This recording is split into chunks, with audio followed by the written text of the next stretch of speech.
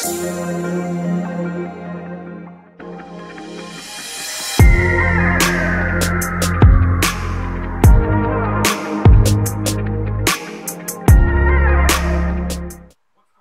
going on guys? Rory back with another review. So, I've not been about for a little while, but today we're going to take a look at a device that was sent for the purposes of this review.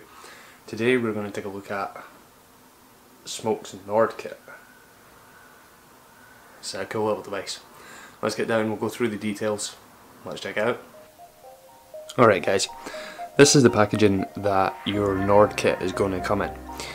It's not really much to show, usual barcodes, QR codes and a few details on the back. So, if I grab over the Nord device, very nice, very very sleek, and it's very straightforward. You're going to get two coils in your box. If I just pop the pod out, like so, here's your pod. As you can see, it's quite a large capacity, and know, these coils are removable. I'm not going to pull this one out. Um, but what's in this at the moment is the 1.4 mouth to lung coil. This is just a regular coil. Your 0.6 direct lung coil that comes with is going to be mesh, not regular. Uh, so your flavour on that's going to be much, much better, but obviously it's designed for a direct to lung as opposed to a mouth to lung. Now, your fill up, if you can see this just here, this little rubber plug. So you just grab that with your fingernail, pop it forward, and there's your hole to fill. Alright. Mm-hmm. So, if I close that back up, when it comes to putting this into the device and using the device, there's not that much to it. When you put the device in, provided that there's a coil in it, that white light will come on for a second. Now, five clicks on and five clicks off. Right, and if you want to see your battery level, press twice and it will show you. Now green is going to be between 70 and 100%. If it lights up orange, you're anywhere between 30 and 70%, and if it lights up red, it's below 30% and you need to charge it. And to be honest guys, that's all there really is to show. Uh, now something I didn't mention, this is a 1100 mAh battery, uh, so it's got relatively decent life on it. Um, but like I say, there's not much to go over with these pod systems.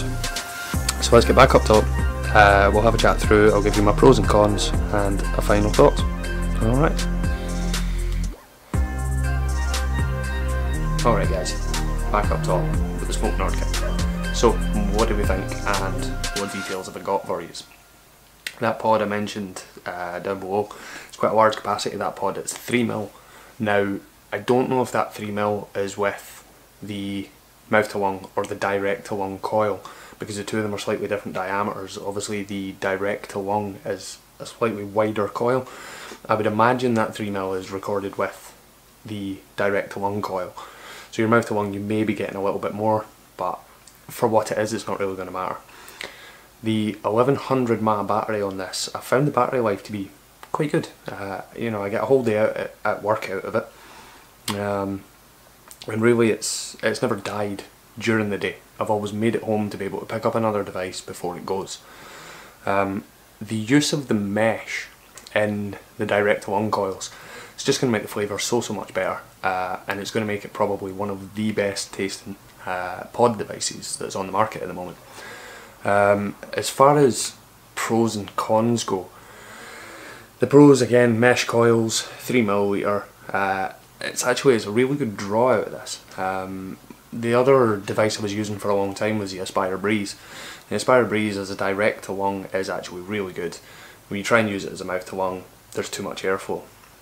I found with this, the draw on this is like just nice. It's maybe a little bit too much air, but you can live with it. Uh, with the direct to lung, plenty of airflow, exactly what you need. Lovely, great flavour. Um, the other thing I'll say about it is the build quality. I don't know if you can see it looks nice for a start, but the main thing is in the hand this thing feels amazing, feels solid.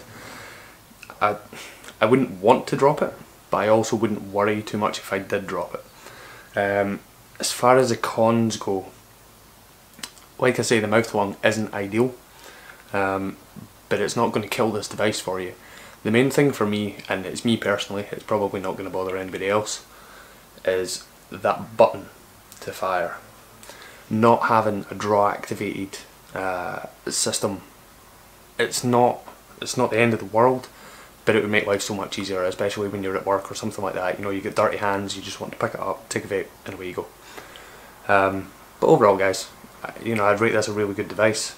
Smoker always making pretty good stuff, and they always make it look really good.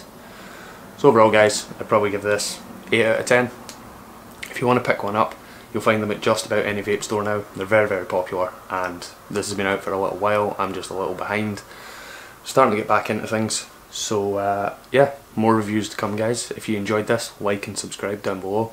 You'll find my Instagram in the description. And uh, yeah, have a good day guys. Thanks.